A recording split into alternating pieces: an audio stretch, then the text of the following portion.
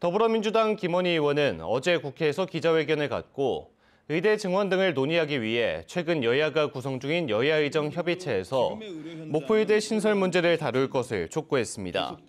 김원희 의원은 지난 34년간 의과대학 신설을 염원해온 여야의정 협의가 자칫 목포대 의대 설립에 부정적인 영향을 주지 않을까 우려하고 있다며 윤석열 대통령이 전남권 의대 신설을 약속한 만큼 목포대 의대 신설 문제 또한 해결책을 찾아주시길 요청드린다고 말했습니다.